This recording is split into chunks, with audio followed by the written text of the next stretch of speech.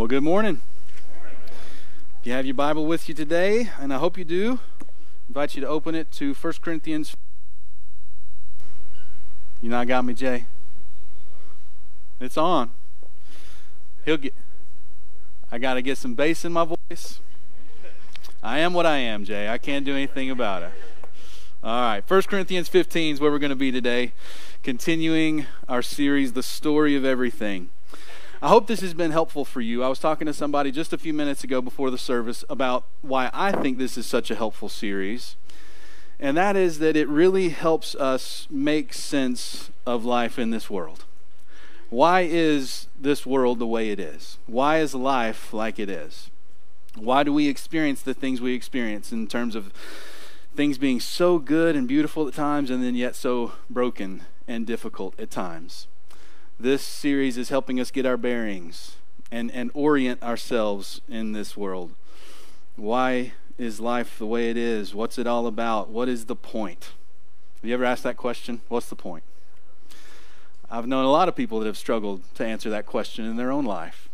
Several years ago, uh, Dr. Timothy Carey, who is the director of the Institute for Global Health Research, was writing in uh, Psychology Today magazine, and here's what he said In my clinical work, it is not uncommon for people to say that they just can't see the point of anything anymore.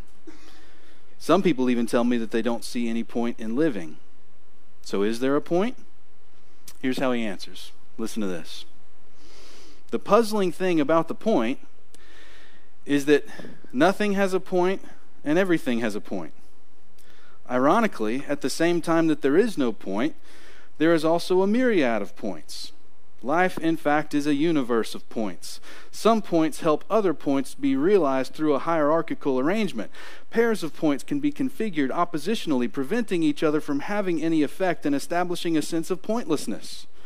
Points are highly individualized, and there is no inherent pointness to anything or any activity. How many of you are feeling really encouraged yet? How many feel like that's a big help? That's pretty awful, isn't it? And I would say that if that's the best we can do, I mean, this guy's supposed to be an expert, right? If that's the best we can do in trying to figure out the point, we're in pretty bad shape. But thankfully, there's more that can be said because God has spoken. God Himself has told us the point of this universe, even of our own lives.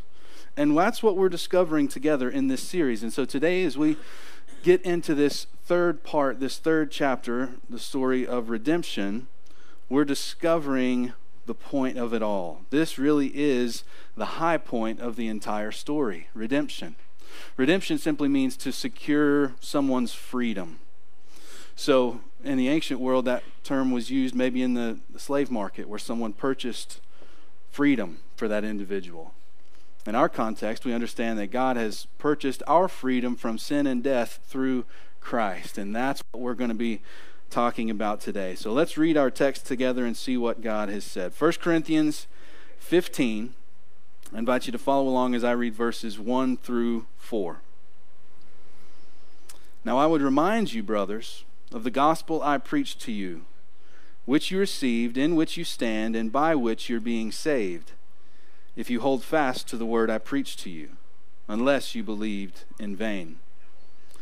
For I delivered to you as of first importance what I also received that Christ died for our sins in accordance with the Scriptures, that he was buried, that he was raised on the third day in accordance with the Scriptures. This is the word of the Lord. Let's pray together. Father, we thank you for this word. We know that you inspired Paul to write as he did for our good and for your glory. And so help help that to be our priority now. Help us to receive this word as we should. Help us to understand and apply it in our own lives so that we could be who you've called us to be. We trust you to be our teacher now in these few moments. In Jesus' name, amen. Well, as you see on the screen, this series is called The Story of Everything. Think for just a moment about your favorite story. What is your favorite story? Maybe it's a story your mother told you when you were a child. Maybe you've got a novel you really like, or even just a movie that you've watched over and over and over, and it's your favorite story.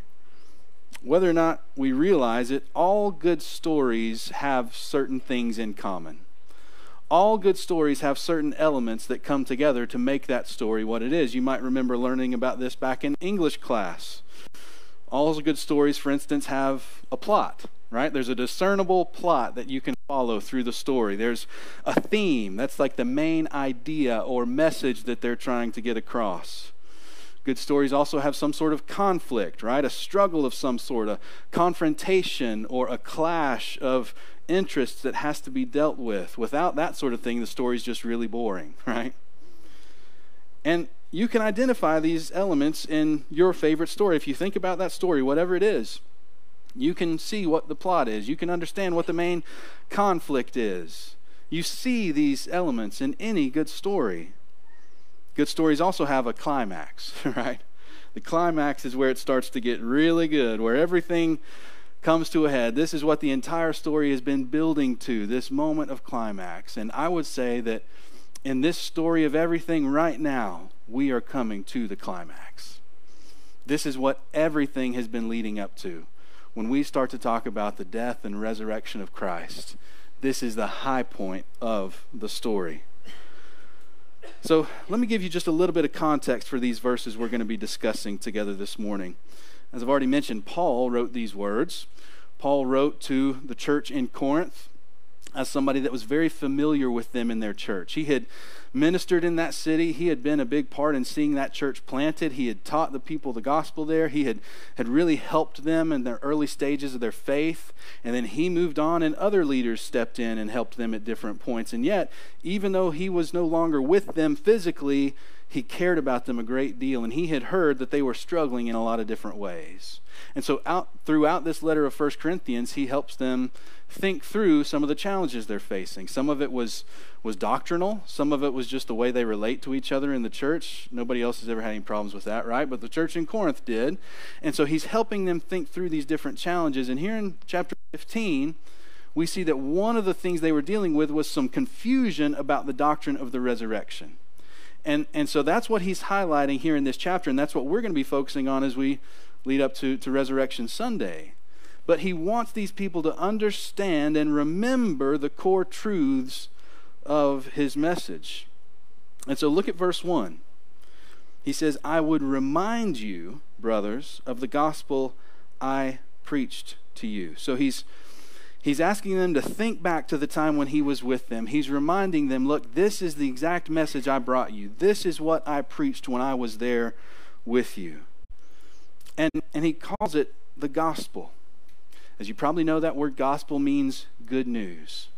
He says, I brought you this good news. And don't you love it when somebody shows up with good news? Isn't that always encouraging when somebody walks in and says, I got good news for you?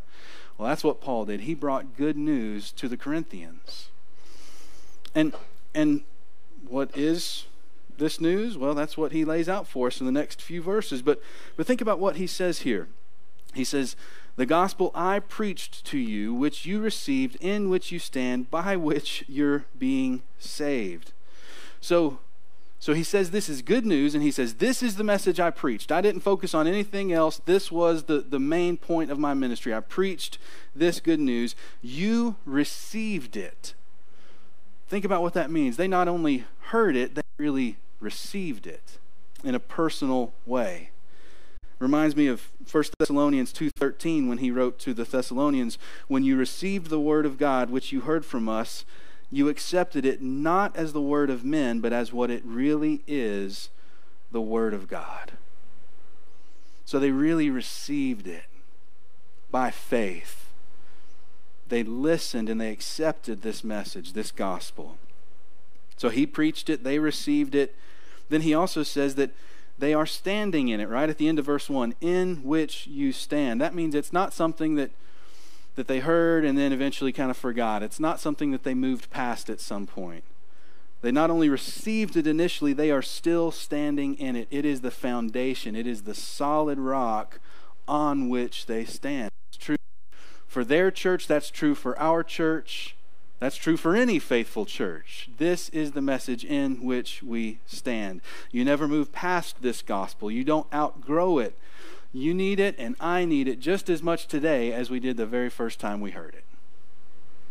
We stand in this message. And then in verse 2, he says it's by this gospel they are being saved, right? In or by which you are being saved. This is the only message that has such saving power. Okay, so think about this. Whatever it is he's getting ready to lay out as this gospel message, it really matters. Okay? I mean, he's already said that this is the gospel that he preached, that they received, in which they stand, by which they're being saved. I mean, he really is trying to emphasize this here. And then, as if he hadn't already got his point across, in verse 3, he says he passed it on as of first importance. I delivered to you as of first importance what I also received. So, whatever he's getting ready to say next, we better pay attention. He's saying nothing matters more than this.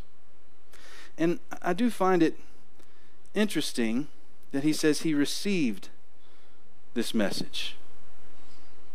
He didn't make it up on his own, he didn't just come up with it. He received it from others. By the time Paul believed in Jesus, there were already others who were believing in Jesus. There were other Christians, the apostles, and others, and, and he received this truth from them. And if you think about it, that's why we're here too. We've all received this truth from somebody else. Maybe it was a parent, maybe it was a Sunday school teacher or a preacher. Somebody at some point in your life told you the good news. And, and I think that should be motivation for us. Like, let's not let that chain stop with us, okay? Like, if it's been passed on to us, let's do our part to pass it on to others, just as Paul's doing here. So, what is this message, this gospel that's so important? Well, look at verses 3 and 4 again. Christ died for our sins in accordance with the Scriptures, that he was buried, that he was raised on the third day in accordance with the Scriptures. This is what matters most. This is the best thing. And in our lives, and in, in the life of our church, we can often get distracted, right? There are a lot of other good things, but there's only one best thing. there are a lot of things that, that matter, but there's only one thing that matters the most. And Paul's saying, This is it. Don't allow yourself to get distracted from this message. So let's think about the elements of this gospel. First, Christ died. He died. But his death was unique. It wasn't like any other death because Paul says here he died for our sins. Nobody else has done that. Jesus is the only one that's died for our sins. And this teaches us something important. If, if we'll receive this truth, this helps us understand something that we might think we know, but sometimes we forget. We are sinners. Each and every one of us. We're sinners. It means on our own we stand guilty and condemned before a holy God. That's not a pleasant message to hear, but it's important and it's true. This is why we so desperately need the saving that he mentioned back in verse 2. Paul would write to the Romans that all have sinned and fall short of the glory of God. All of us, you, me, everyone you've ever met, we are all sinners, and that's a problem. that's a big problem because our sin separates us from God. We were created to know Him to enjoy a personal relationship with Him. But because of our sin, that relationship has been fractured. And if we want to know God as we were created to, if we ever want to be who we were created to be, our sin problem needs to be taken care of. If we ever want to have the hope of salvation and eternal life, our sin has to be dealt with. Now, Paul also wrote to the Romans that the wages of sin, that is what you earn as a sinner, the wages of sin is death. Again, that's a problem, right? It's a problem for each of us personally.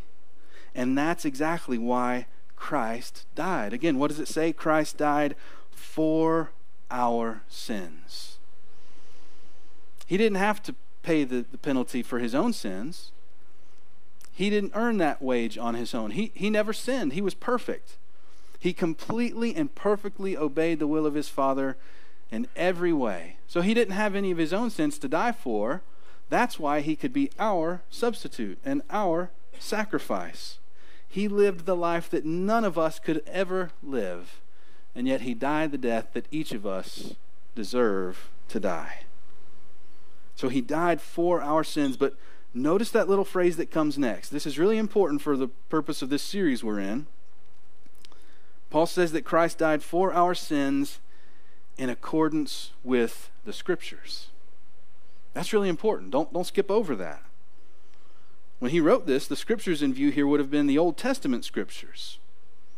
And Paul's saying that the death of Christ happened according to what was written in those Old Testament scriptures. What does he mean by that? How is that so?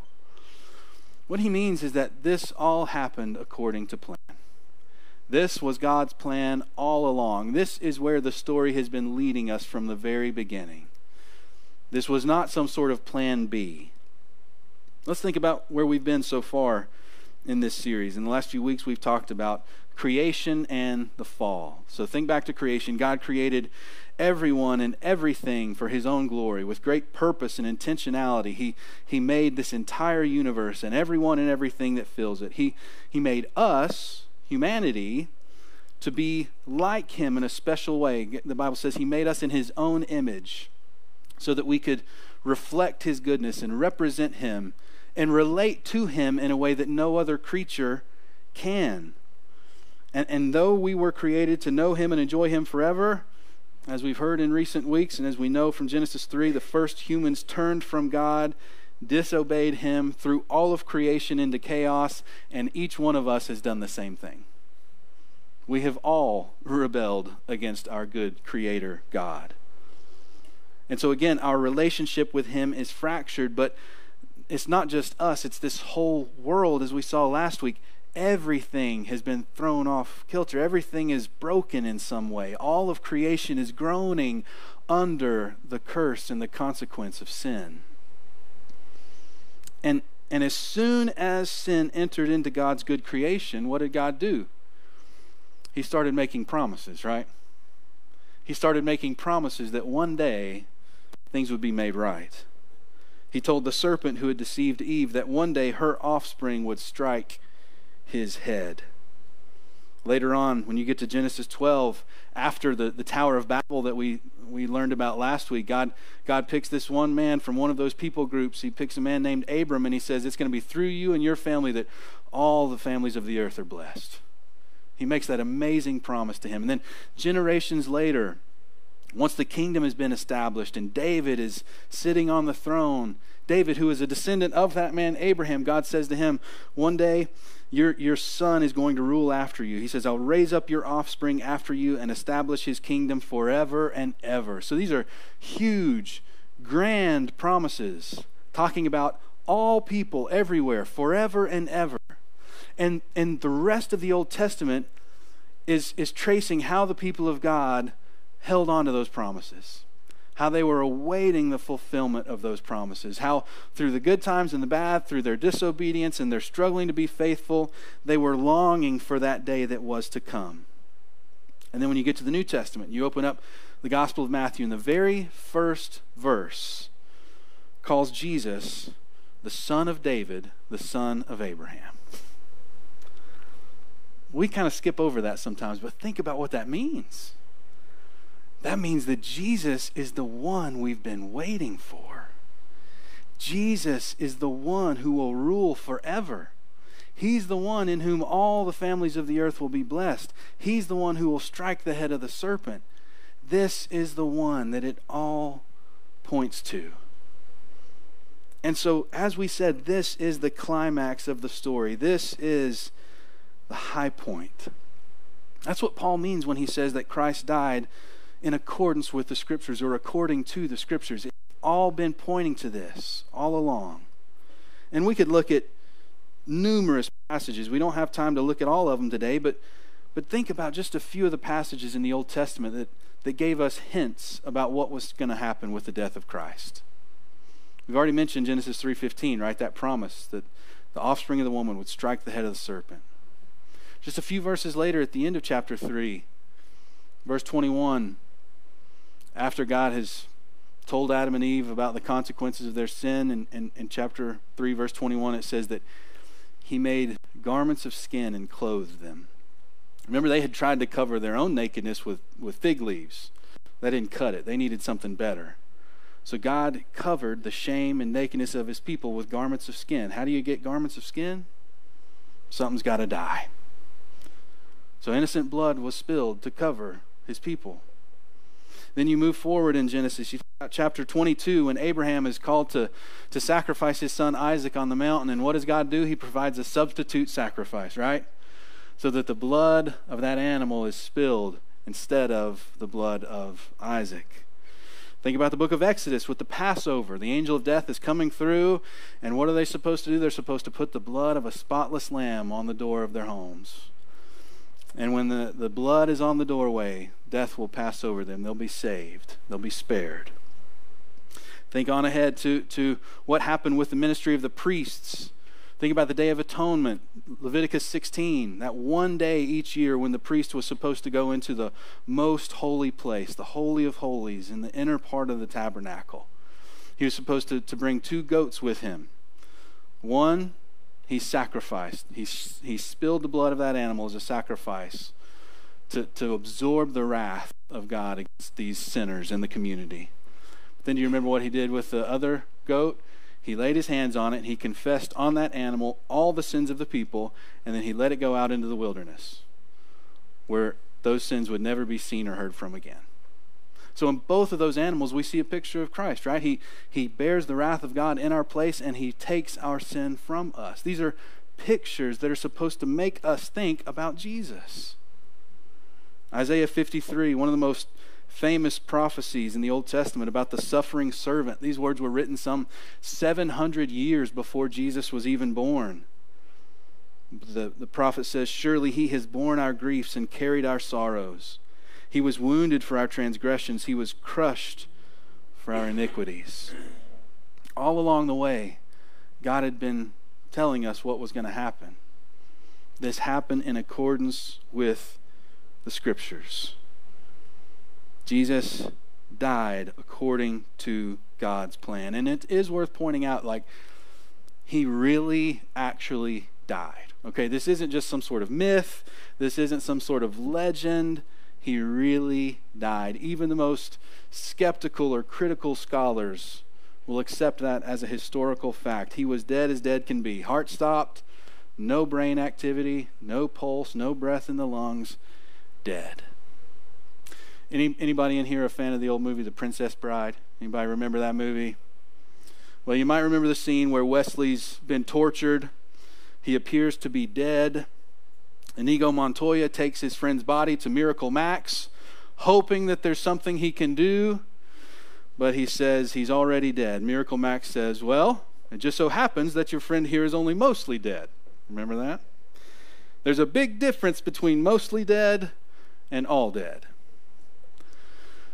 Friends, Jesus was all dead. Totally dead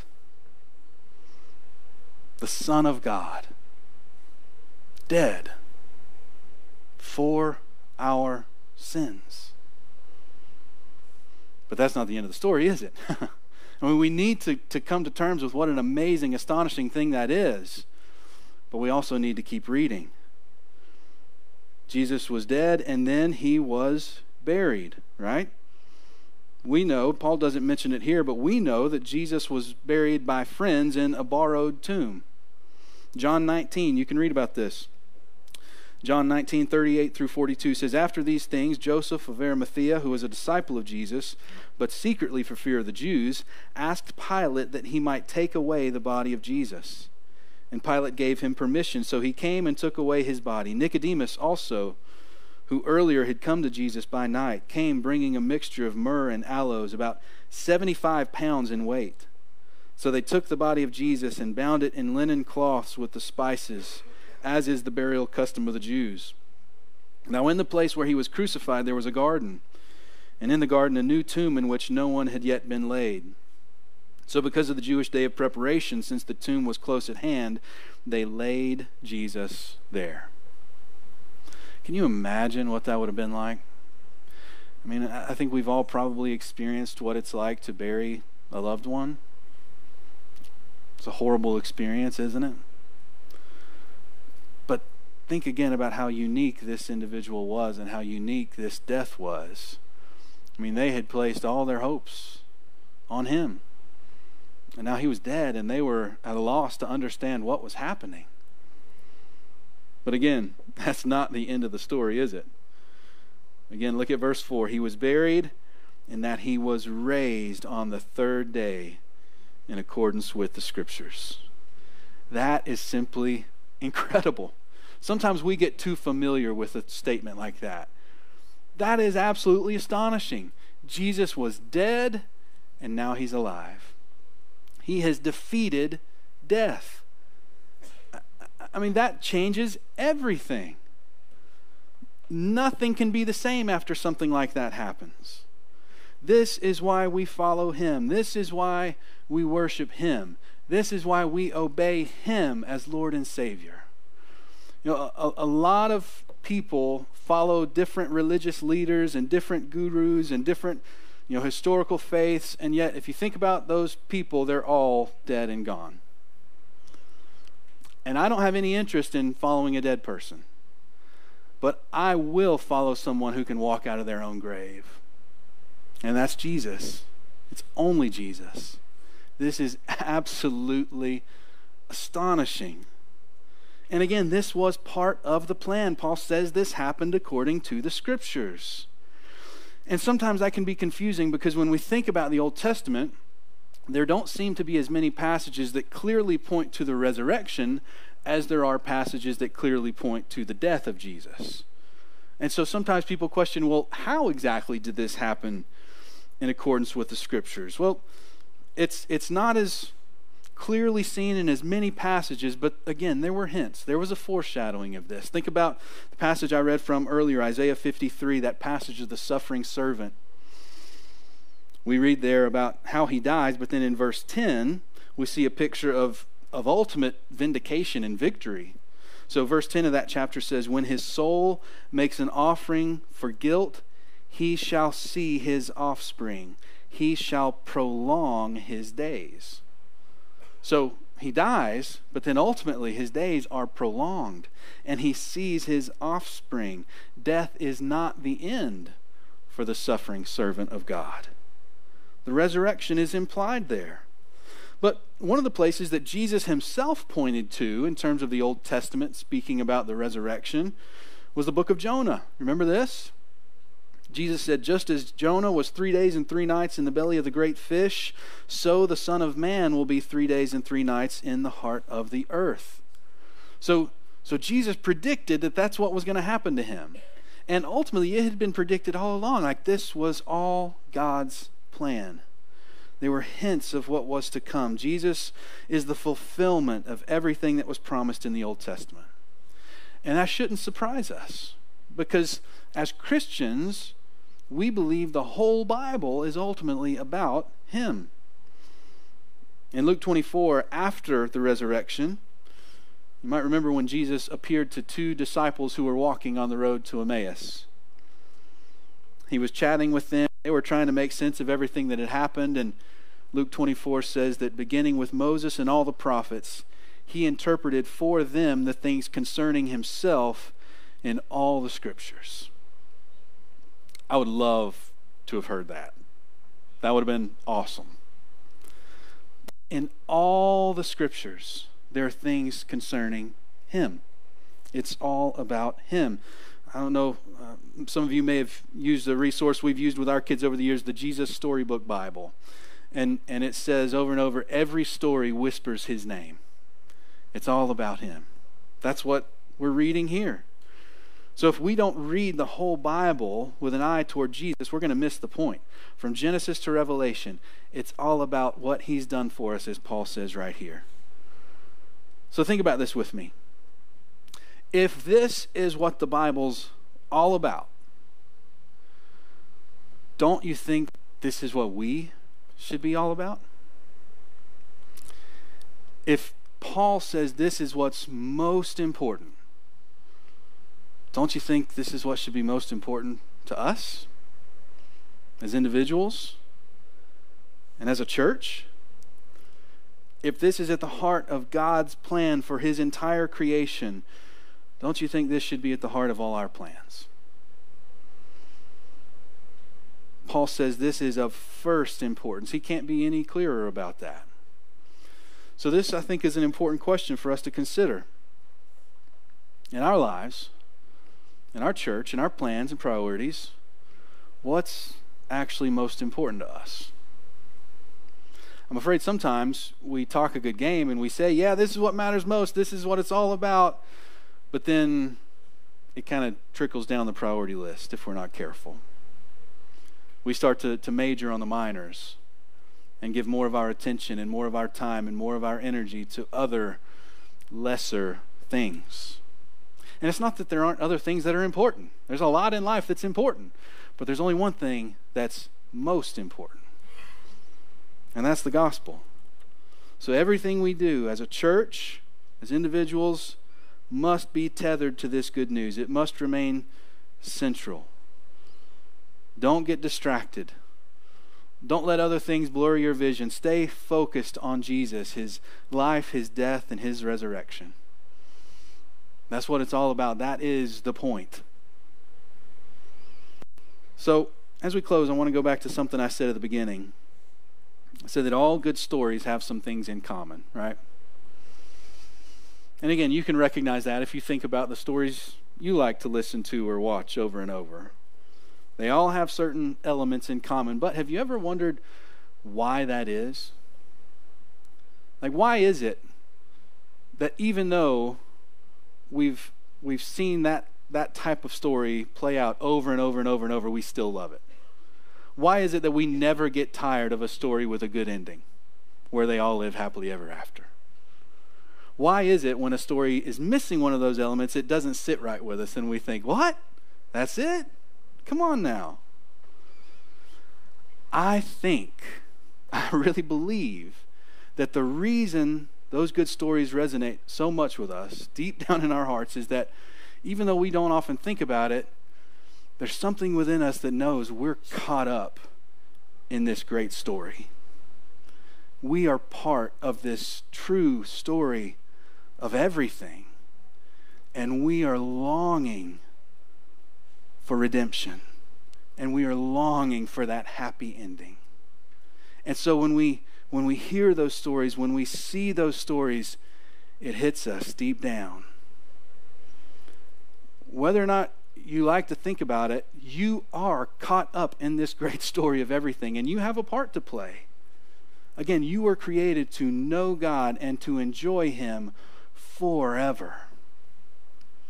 And yet, because of your sin, apart from Christ, you remain separated from God. So if you ever want to be who you were created to be, if you ever want to experience life the way you were meant to, you need to trust in this Jesus who lived for us and died for us and rose again for us and for our sins.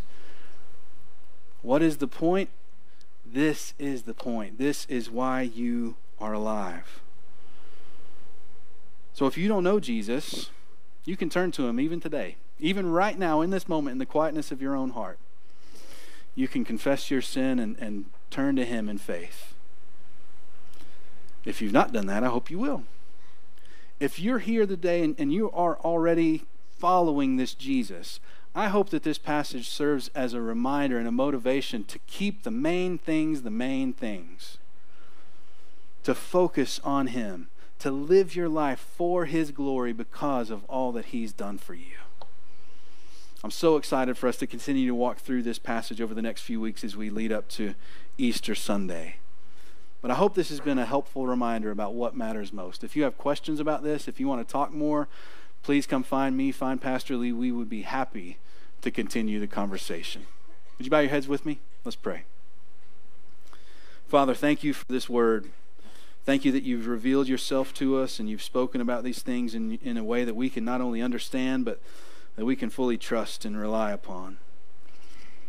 Help us to believe these words. Help us to live in light of them.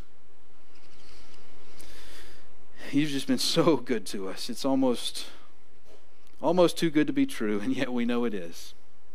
Because we see it in your word and we've experienced it in our own lives. Thank you for this time we've gotten this morning to celebrate these things together. Continue your work in each of our lives and in our church for our good and your glory. We pray it in Jesus' name. Amen. Thank you so much for being here. God bless. Have a great day.